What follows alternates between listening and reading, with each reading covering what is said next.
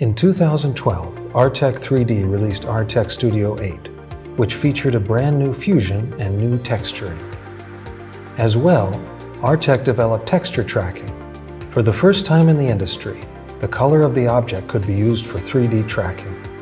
That same year, Artec 3D released a new handheld scanner onto the market, Artec EVA, which became the world standard in this class of professional equipment. In 2013, Real-Time Fusion came to Artec Studio 9.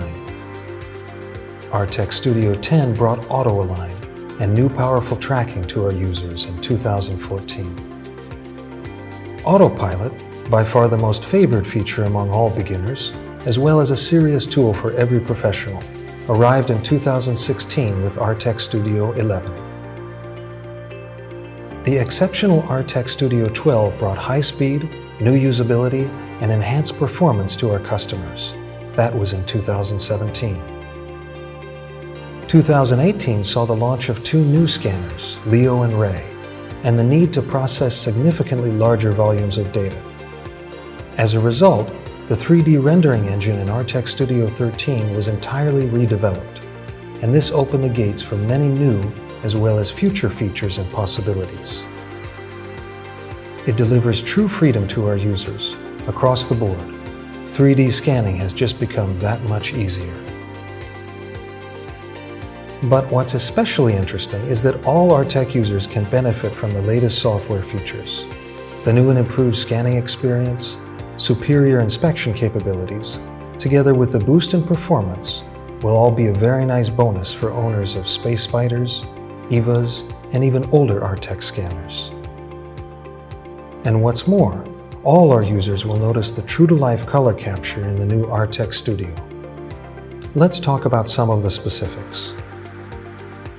3D Radar is a revolutionary feature in Artec Studio 13. We've created a dynamic and effective tool for helping users more easily control the scanning distance for collecting quality data.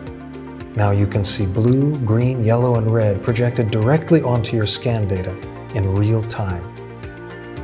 Blue means that you're too far away from the object and need to redo that area, whereas yellow and red signal that you're too close.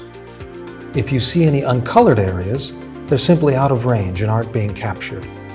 Green confirms that you're exactly where you should be. So just paint everything in green, and you're sure to have a quality scan in your computer. 3D Radar doesn't switch on for preview mode, because preview is the time to adjust texture brightness and other settings. After you have made these settings changes, simply start scanning and 3D Radar will be there with you every step of the way, making perfect scans both straightforward and trouble-free. We've put a lot of effort into making global registration more robust in Artec Studio. As a result, global registration has new algorithms in version 13 and is now 250% more effective when selecting objects.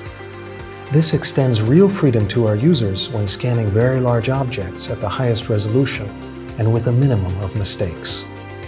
In Artec Studio 13, there are two new ways to evaluate global registration. These are max error and X-ray. Max error is a simple method for checking the quality of global registration just before running Fusion. It highlights bad frames in yellow, orange, and red. Green indicates good scanning results.